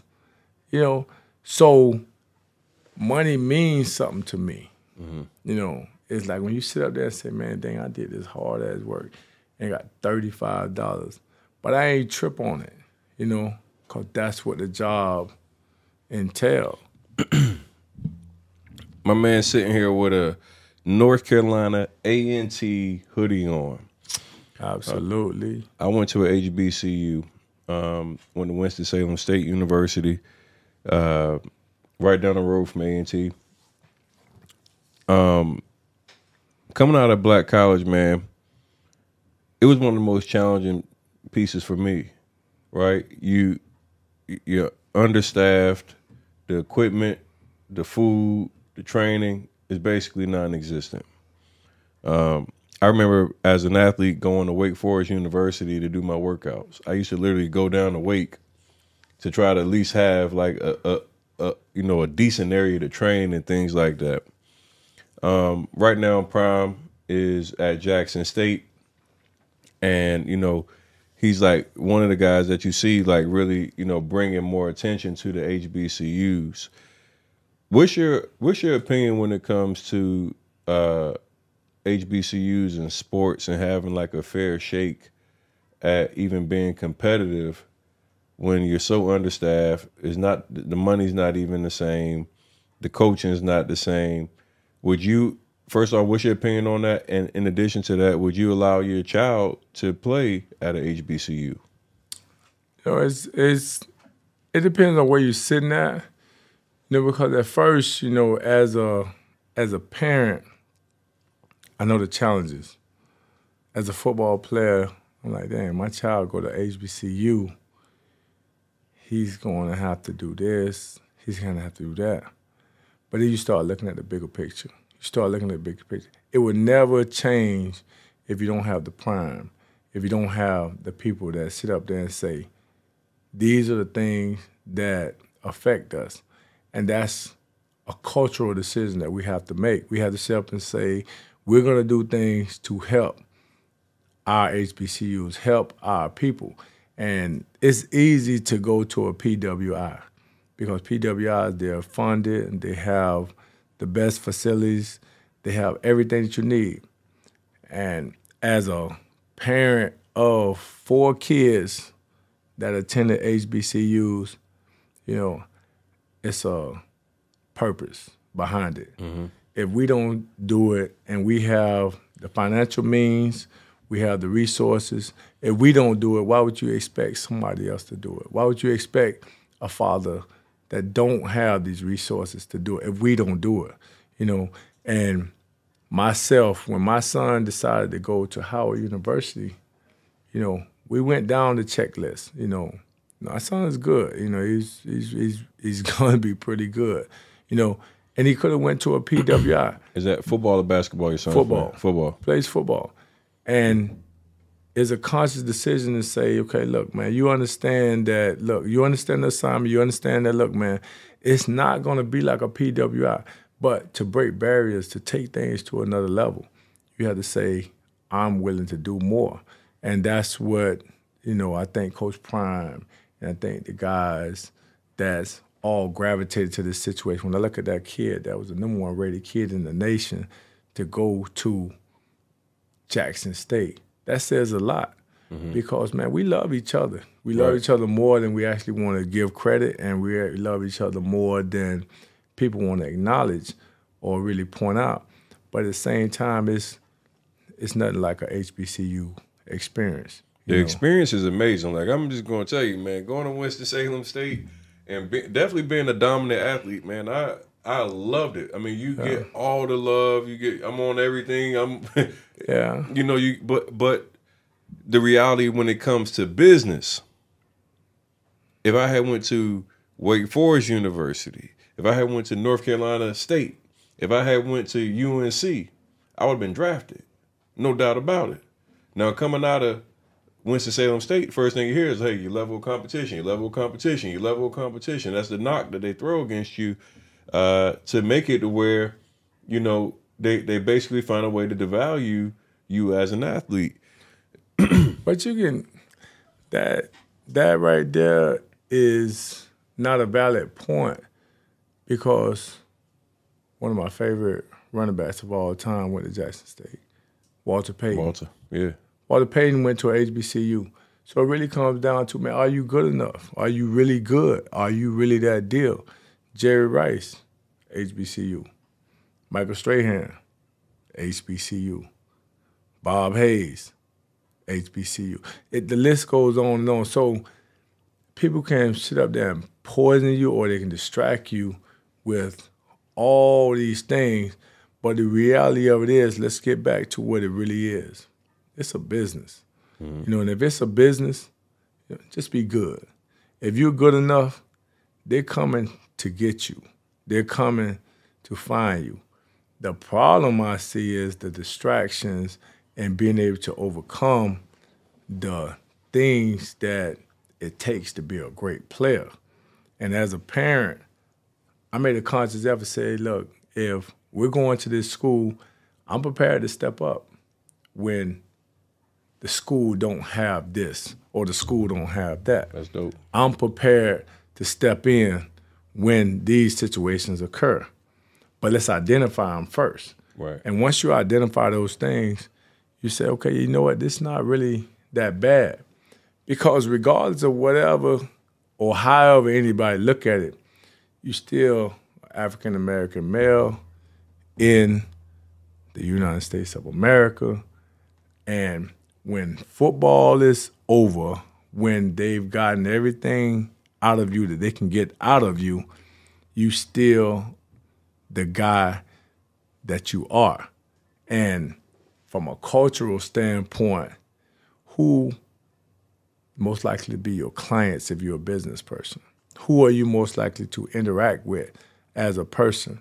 So, as an advantage, I think it even makes more sense if you're a business person to say, look, I'm going to a HBCU because, man, deep down inside, I know who my client's gonna be. My daughter is at North Carolina A&T. She's gonna be a plastic surgeon. You know, she's gonna be one of the best plastic surgeons the world has ever seen. You know, you think her clients not gonna be of African American descent? You know, and so let's be realistic. So you have to have those conversations. You have to really be realistic and say, these are things that's gonna happen. These are things that's really gonna matter. Look at the end result. Because when you go to any firm if you go to any, um, say you're a lawyer, I have a daughter that's an attorney. I said most likely your your client's gonna be African American. You know, you don't see a lot of African American attorneys represent all these other races. They stick with their people. You know, so we getting a head start on it you know, and you call it like it is. You can say it how you want to say it. You can sugarcoat it. You can this and that. But this is the way this world works. This is the way America works. And for me, I'm a realist. Mm-hmm. You know, I'd rather my daughter go to uh, HBCU to where she has built a relationship with this HBCU and her people that she's more likely to have clients because she's in business. You know, if she's going to be a plastic surgeon, you think she's going to have all these other other um, cultures or ethnicities come and say, "Hey, I want you to do this. I want you to do that." No, most likely it's not. You know, they go to their people. You know, and it's nothing wrong with that. Right. So for me, it's like, man, let's get ahead of this thing. Like this, is what it is. You know, name one African American attorney that all his clients are of another descent. You're not gonna find that. You know, you're not gonna find that, and especially consistently. You know, but every time you look at it, you'll see a person of another culture or of another race, and they have everybody. You know, we only get limited to our people, and if we get one of those people, they're people coming with restrictions or with situations. You know, it's not it's just that's just the way America works, and there's nothing wrong with it. But it's like we have to sit up there and wake up and say, "This is the reality of it. Let's let's do us a little bit more mm-hmm. than accepting the status quo." Well, I'm gonna tell you, man. Just hearing your your your perspective on on HBCUs, uh, you, I mean, I just got I gained respect from you from the time that you responded to my DM. Gained even more respect when I, I come here and I meet you as a man but as we have as we have further this conversation, and I'm listening to you, you know, with with like for, forward thinking when it comes to the support. You know, all you said four children at HBCUs. Four children. I got um, six, and four of them are at HBCUs. That, so, like, you walk it and you back it, and that's something that, like, you know, a lot of people love talking about. Oh, I'm about my culture. I'm about my people and then they go do the exact opposite. None none of their actions actually match um, the stuff that they're saying. But when I listen to you, Edge, and I'm I mean like this is impressive, bro. Like to hear you say, "Hey, look, if if if Howard University is lacking on something that I can be a part of and I can assist, I'm gonna assist with that." If if we had more guys that even heard it, and, I, am glad that you're even vo- ver- verbalizing it and vocalizing it because I had a, I was on another podcast, and I had said flat out. I wouldn't want my kids to go to an HBCU because of my experience there. You know, football wise, meeting people and all that, it was amazing. But when you when you had so many limited, for me personally, the limiting resources that kept me kind of at bay. Uh, was a big deal. And to hear you be like, hey man, like not only are my children here, but I'm going to be a part of the solution by making sure whatever resources are lacking, I can be a part of assisting. And man, I gotta take my head off to you, bro. Like we need more of that. And if we get more people that definitely of your likeness, Deion Sanders, and more that start even people knowing that you guys are having this, like even knowing that is huge because just like I said, my experience was so. I mean, bro, I, I'm from North Philly originally. I go into Winston Salem State, and you know, I'm thinking I'm going to college to, to like get away from some certain things, and then you you experiencing some of the hood shit that you deal with in school. In addition to that, the school was limited in like the resources and all the shit that you need to be a top notch player. If but we get like for and that that's the thing is like how is it going to change if you take that approach? It's never going to change. you're right. It'll never change. So for me it's like you we can all do the basics. Everybody can do the basics hey this how it goes this how it go. But who's going to do step up and do more? You know and and for me it's like man look dude you going you going to howard university? Guess what?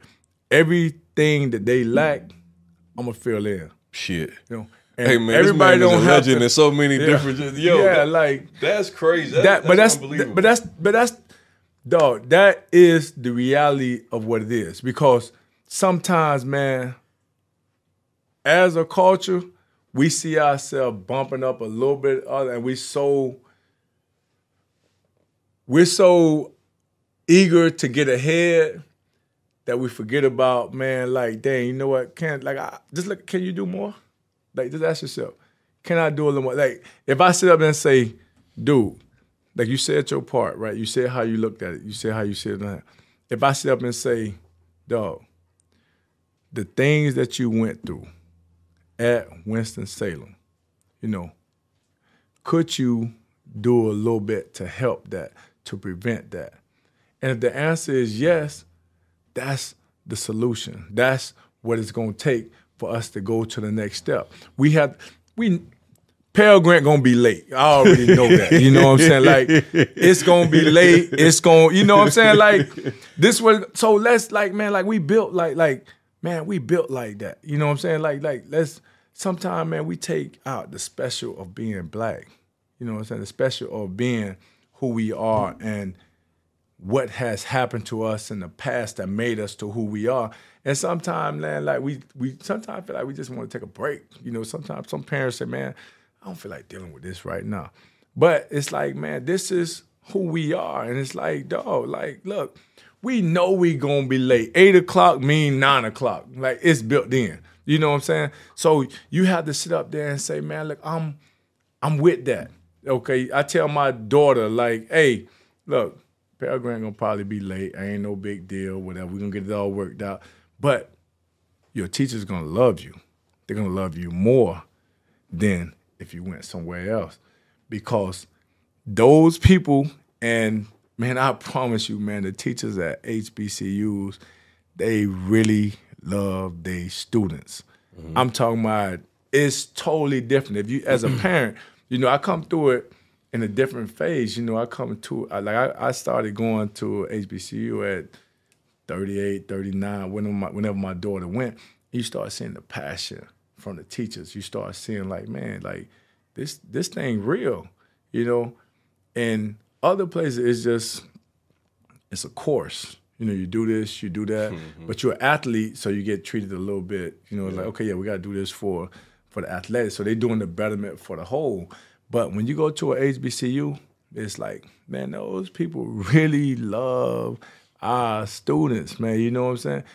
And once you get into your mind, man, we gonna be a little late. You know what I'm saying? Cultural, that's what we do. Like we ain't showing up to the party on time. And you think that the Pell Grant, you think all the grants, you think this and that. No, put that in the equation. Let's go ahead and put that in the equation. But overall, you're gonna say, man, dang, now I beat the system because I was already ready for it. Mm-hmm. You know, when they come say, "Hey, Daddy, I didn't," they didn't put me in. All right, cool. We're gonna call this and that because we already ready for it. We right. ain't gonna sit up and say, "Oh shit, they they late. They did." No, we already know this part of who we are, mm-hmm. and now let's make this thing work.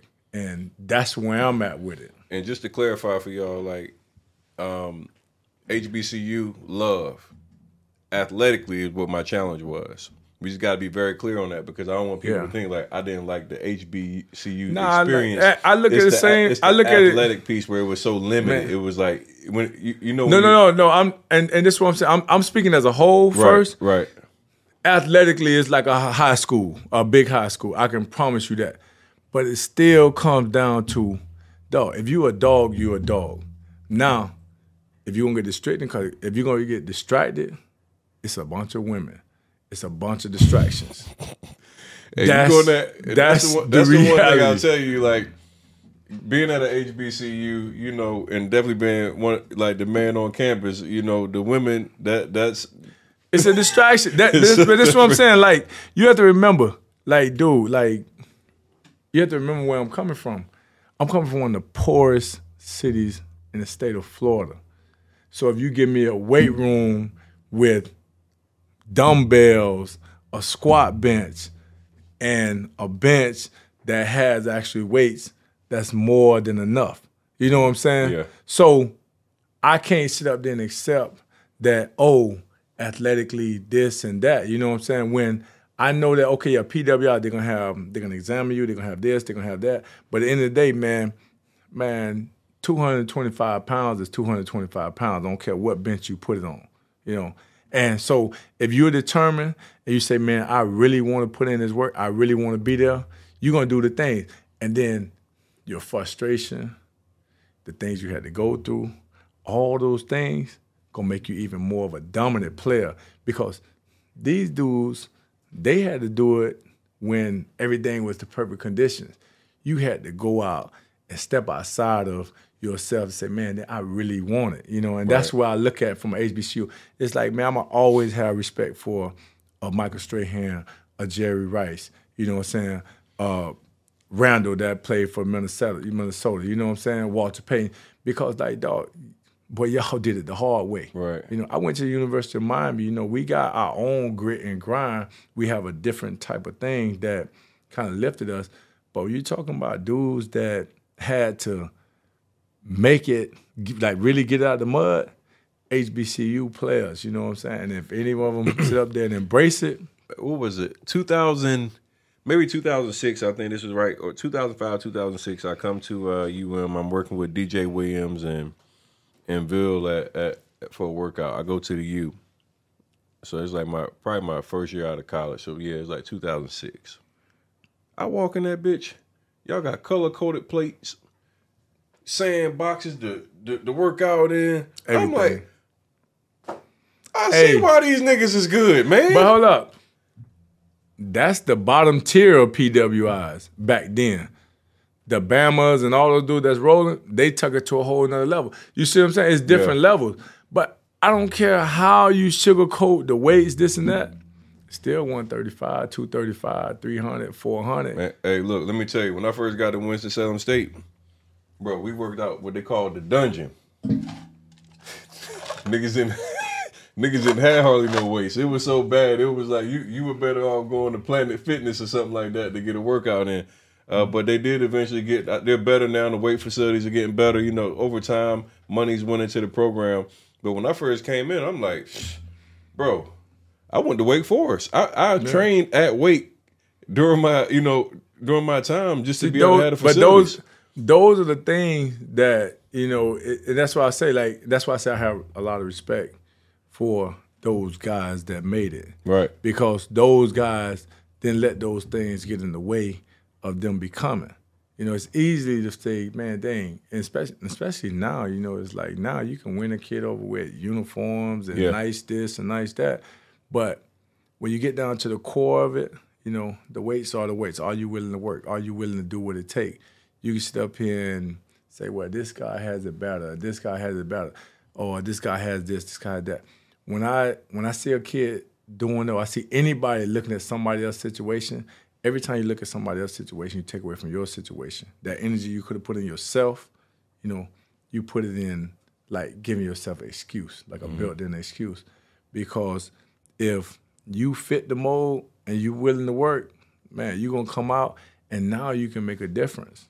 And that's what we need now. And I think everybody's preying on the fact that the kids love the flamboyant things. And everybody comes from different situations. Mm-hmm. Like they might say, you're a five star, you're this, you're that. And so it looks good, this and that. But then every time that draft come, you see this unrestricted. This guy is a first or one star. This guy nobody ever heard of. Because they found it from within. And that's what makes you special. You know, because it's easy to do everything when everything is laid out, it's perfect, you know, the right conditions. And now it's hard for you to fail. But you say, I've overcome this, I've overcome that. And as a person that's coming from Immokalee, Florida, I'm like, look, dude, nobody can tell me nothing. Like, I know what I overcame. You know, I know what it took for me to get where I'm at. So I have a greater appreciation for it. And when I see somebody that sit there whine and I see somebody that complains, I'm like, man, you you tripping or, you know, it's like really they oh, you don't really understand. It's like have you ever been to a third world country? You know, have you ever been over there and you see how those people appreciate certain things? You know, that's what it's like. When you're going to a HBCU, you say, okay, look, I know what I'm getting myself into, but when I make it up out of here, you know, you're gonna know I really made it up out of here, and that's the difference. Who's the best player to come out of uh, University of Miami? Depending on what you're looking for, you know. Best, like, give me your best offensive player, best defensive player, all time.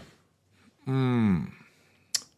Man, the you we roll together, man. Like I don't really like we, we don't divide each other. You know, That's it's not like, divide though. It's it's somebody. It's the cream comes to who got gold jackets out to you.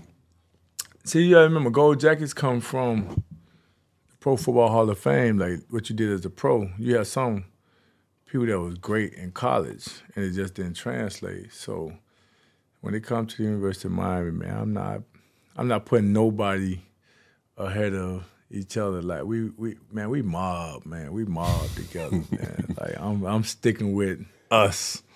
You know, it's the you versus the you. everybody, man. That's, that's, how we operate. All right, uh, next question. Um, who's the best player that you played with uh, in your career, like just in general? Offense, defense, don't matter. Well, the best overall player had to be Peyton, man. You know, Peyton, like this man, football was like this dude life, you know, and then to watch, you know, a person go from one franchise to another, still win it, but the to watch the growth, you know, because like when I went to Arizona, I mean when I went to when I went to in Indianapolis, you know, it was three, it's still a three and thirteen team, you know, but to watch it grow and watch it turn into something become special that became a team that the whole world took notice on and it's all because of that guy. You know, that guy really did what he had to do and committed to the game. You know, and it's like when I when I, sit, back, back and, and I, I say, man, I was around somebody that really committed their life to the game of football, and they reap the benefits of it. You know, a lot of us, you know, like I came with a purpose. I ain't come from a house that had this, had that, and I was just playing for fun. You know, so we all have different agendas. But when you see somebody just say, man, the NFL, I love this game. I was born to be this and be that. I gotta give it to P Money. You know, P. That's his name, P Money. Yeah, yeah, right. He made all the money. like, nah, like, but not, not only like that, like a good dude. You know, like yeah.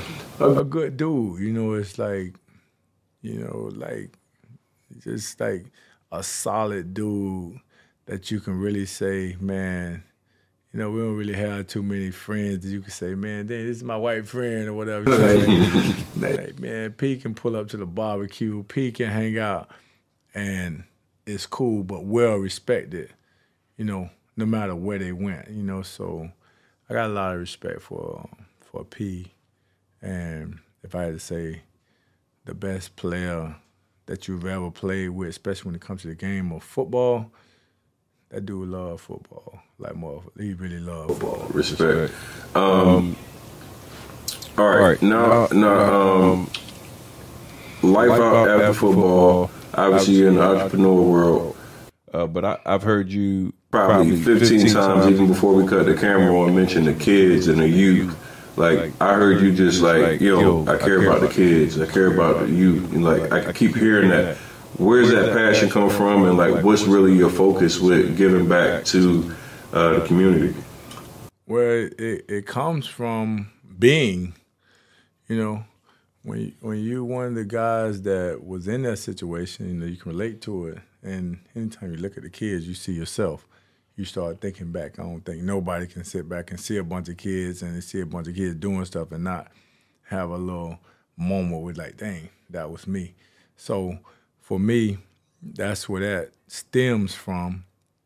And to make us better as people, you know, we need to make sure that when you get in these positions, you can't just take these positions for granted. You have to take these positions and understand that you have an obligation. It was a reason you was chosen. Why you was chosen, I don't know. But the fact that you're chosen, don't sit up there and be selfish. Don't hold all the information because anybody that's successful has a lot of information. Mm-hmm. They have a lot of information. And that information is to be given. You know, you receive information and then you give information. And the people to give it to is the kids. You know, you can give the same information to somebody your same age or a little bit older or around there, and they'll disregard it. Give it to a kid, you know, it's going to travel. It's going to carry on. And when you teach somebody something from the first time, or you take one of these kids and you say, hey, this is how you do this, usually the first time you learn how to do something, that's the way you do it. And if you got a chance to show them the way to do it and how to do it, and it's a successful way and it's a positive way, you just help the world. You just mm-hmm. help the world because you showed them how to do things the right, right way. way. And the kids are the future. They are the next generation. They are the ones that's going to be doing the things that you're doing or doing the things that they see. And I think it's very important to sit up there and provide them with all the resources, all the information to where they're going to be able to carry it on. You know, if they sit up there and they see you going for bad, they're going to probably go for bad. Mm-hmm. But they, they see you doing things that's good and doing things that's productive, they're most likely gonna hang their hat on that. And that's the time when it's a blank canvas, when it's and it's nothing that's instilled in them that sticks when you have a chance. So it's very important to make sure that you you provide them with so much information that they can utilize and actually benefit from that they'll see it because once they see it like hey this right here really works man, they're convinced. With you being so successful, uh, I just want to uh, like, and we're talking to the kids right now. We're talking to the youth. Uh, there's so many distractions around for these kids nowadays. Uh, the you know the even from you know video games to the music is so much like you know whether it's drill rap or whatever, where we got a lot of people that are like jumping into gangs and jumping into like this crazy lifestyle. You come from an area that is tough and um, you know, obviously like, you know, you said it's very, very poor. What type of things mentally did you do to stay clear of all the of all the, the your surroundings? Because our environments are so toxic sometimes like our environment can lead you down the wrong path and take you away from amazing opportunities. What type of advice or things could you give to the youth and far as far as tips to to make sure that they avoid the pitfalls of growing up in tough areas? The the most important things are examples. You show the people examples, you show the kids examples, and you see them through. You sit up there and show, okay, this is how you become this. There a lot of games that say, hey, I want to be LeBron James okay, let me show you what it took to become LeBron James. Let me show the commitment he actually had to the game. You know, and I think a lot of time people just looking at one side of things. Somebody say, "Hey, I want to be this rapper or I want to be this entertainer." There's nothing wrong with that, but you have to see the whole. You have to understand that everything that everybody went through to become. And once you look at the the big picture, you see it all you can say, okay, yeah, these are the things you have to do. These are the things that made them become who they are. And a lot of time, everybody just getting these real glimpses. It's like a little, everything is like a snippet. You know, mm-hmm. it's like, yeah, remember Instagram started out with 15 seconds and it moved up and now it's one minute. You know, it's like, and so you get like a snippet of a person's life, but look a little bit more, uh, look a little bit deeper into what it took to become. Right. You know, and these are the things that you have to do to become these people or put yourself in these situations. Not you have to have talent, you have to have something special about yourself, but regardless, even if you have all that, you still have to have that discipline, you have to have that work ethic, you have to have that thing that's gonna say, hey man, I'm not gonna be like everybody else. You know, it's this thing if everybody's doing it, it must be easy. You know, so the people that stand out are the people that stand up there doing things that everybody else not willing to do because it's easy to go with the flow. You know, like crowds are made for destruction. You know, the world is ran by the few. And like, are you gonna be the few or are you gonna be the person that stands out? Or you're gonna be the person that just goes with the flow. You know, And like if you go with the flow, is it's it's a lot of y'all, you know. The from from gold teeth to gold jacket um is a hell of a statement. It's a hell of a book title, but more importantly, it hits on I, I, it hits on so many things: dedication, discipline, hard work. Um, can you give me just like a couple real thing, quick tips? We're gonna wrap on staying disciplined even when you don't see the end goal or or you're not already you're not being rewarded because so many people are looking for instant gratification. We just talked about Instagram and seeing these snapshots and everything else. The work that's required to put that gold jacket on, the work that's required to see a project to its its end. Um, it's important. I think a lot of people don't really see that part. Can you just you know just touch on the type of work ethic that you had to have, discipline, etc., to make and hit your goals for your life? Well, I start with faith. You know, faith is like this thing you can't really see it. You got to believe in it. You got to know it's there. So you have to you have to have faith. You know, and once you like have that faith, the faith is the foundation of everything. This, this it kind of gives you your why you know, you start saying, oh, man, like, I know it's going to happen. I believe it's going to happen. I'm doing everything that it takes to happen. So it starts with there's different layers, you know, and then it comes to identifying, okay, what's your end goal? What are you really trying to accomplish? And while you're trying to accomplish all these things, there's to be all type of distraction. That's when the discipline kicks in. You know, the discipline, it comes to where, hey man, the like they always say the devil always come in to test you. You know, somebody gonna always come to test you. And you have to really understand that, man, when you're trying to accomplish something, somebody gonna come to get you off your square. Somebody gonna come to distract you. And the fact that you notice somebody's coming, it's easy to block out. Like when I'm doing things and things are going good, that's when I feel like, man, I'm at my most vulnerable. And I'm just waiting on that moment. I'm anticipating that moment because I'm like, I know something about to come up because I already know I'm rolling too good. Life too good right now. You know, something is something about to come up. And then out of nowhere, it just comes up. But I already anticipated it. That's I've real. already anticipated because I know when I'm doing things the right way and things are rolling for me, something's gonna come. And all they do is say, man, that was a test. Dang, I passed. I passed mm-hmm. that test.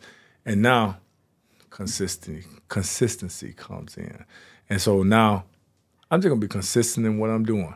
I'm gonna keep just keep chopping wood, just keep going at it, keep going at it, you know. And then you go back to faith because I know it's gonna happen. So you keep going, you go faith, discipline, consistency. And you start saying, okay, look, you can keep going, you keep going. You're like, man, I don't know if people heard of the um, the story of the Chinese bamboo tree. You know, when you look at that, I mean, look up that story. I think anybody should look up that story. It's a very inspirational story. But you just keep going. But you have to have that faith that it's going to happen. You have to have that discipline to not be distracted, not to be distracted. And then consistency, just keep doing what you're doing. And then out of nowhere, you know, sometimes I look at like, man, like I always say, man, God gonna get tired of me um, sitting up here harping on this and harping on that because I ain't giving up because I know it's gonna happen. And he gonna just say, man, you know what? Let me just give it to him because you know what, man, this man like I'm getting on his nerves, or he like, man, this man deserve it because I'm gonna stay at it, and that's been my approach, and that's been like my like like I believe in that. You know, it's like I say, man, look, I know what I'm doing is the right thing. Am I hurting anybody? I ain't hurting nobody. Mm-hmm. Am I interfering with anybody? It's like you find a space to where man, I'm not hurting nobody. I'm not doing nothing to hurt nobody. And I'm actually trying to help people. I'm trying this and that. So I know I'm in a clear lane, you know? And then it's like, okay, I gotta stay disciplined enough because man, when you become successful, when you time you start start doing things good, it's gonna be some times that gonna test you, and it's gonna go to the things that know, we all have vices, mm-hmm. you know, and sometimes that vice gonna test you. It might be something that that would normally trigger you, You know, and if it normally triggers you, then you put in that space to where it's like, and what am I gonna, what, what am I gonna do? Am I gonna am I gonna go for it or am I gonna play past it? And you play past it, you feel good because like dang, that was a chance that kind of got me off my square. And that's where that discipline comes in. And so I'm gonna get back to doing what I'm doing. And that's kind of my routine with everything. That's what's up. Um, we got a legend in the building, man. I'm so thankful for your time tonight. Listen, so I do like I do live events, man. Uh, I have a few thousand people out. I'm gonna have to get the edge. I'm gonna try to I'm gonna try to get the edge to come mm. out and pull up on y'all, man. The edge will pull up, man. Um, I talk I talk in third person. It's like the other person, you know. Hey, like, when you got a gold jacket, bro, you can talk in third person all yeah. day long, man. I'm I'm like so thankful for your time tonight, brother. Um, you really like, you know, to get to meet you and to hear your thought process. Um, definitely on a couple of topics when it comes to like the HBCUs and things like that, man. You just really like wowed me. Um, appreciate and, it. And and I got mad respect for you. Uh, make sure if you haven't already done so, you guys go follow Edge. Uh, we're gonna tag all the socials at the bottom. Uh, I'm gonna see if I can't get a couple of these books. Can we get a couple of these books, Edge? Definitely, yeah. twenty five dollars. Yeah, yeah, yeah, It's about yeah. business too. You look, know look, what I'm saying? Look, so like, what we're gonna do is we're gonna we're gonna get like I'm gonna get like ten of these, right? I appreciate and, um, that. We're gonna get like ten books. I'm gonna see if I can't get Edge to sign them. And if if you if you follow the the, uh, the show, if you follow the show, get your ass up, and you go follow me and the Edge you'll be eligible to win one of the 10 books that we're going to get from the Edge, man. So, uh, y'all make sure y'all go follow. You come subscribe to the channel. We got a living legend, a Hall of Famer, and go get the book for y'all, for everybody that, that to go support Edgerrin James from Gold Teeth to Gold Jacket. Uh, this is going to be an amazing book. I'm looking forward to reading it, and I appreciate uh, your time, Edge, man. Respect. No, man, anytime, man. You already know, man. I, I like what you're doing. Thank you so I much, really brother. do. Um, I appreciate you, it. I, I just once again, you wowed me when you told me that you came and said, "Hey, whatever shortages they have, I'm willing to stand up for." You have and, to. And being from an HBCU, man, that shit sent chills through my body, brother. You have to understand, man. Is the the difference and the the difference between winning and losing is so close. You know, it's just those small things.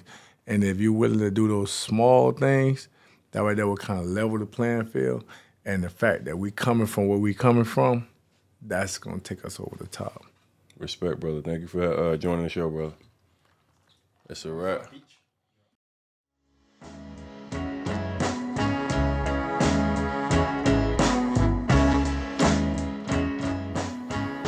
That's a wrap for today's episode of the Get Your Ass Up podcast. Thank you so much for joining me in this journey of learning, growth, and self improvement. I hope you found value in our discussion and feel inspired to apply the insights we've shared to your own life. If you enjoyed the show, please don't forget to subscribe, leave a five star review, and share it with your friends and family. We're committed to providing you valuable content to our listeners, and our, your support continues to help the growth, and I, I want to over deliver on that promise. I'm your host, Tony the Closer, and I want to remind you to never stop striving for greatness. Keep pushing yourself, never give up. And remember that we're all in this together. Stay tuned for more empowering episodes continuing our way to success. Until next time, keep moving forward and remember, get your ass up and make that shit happen.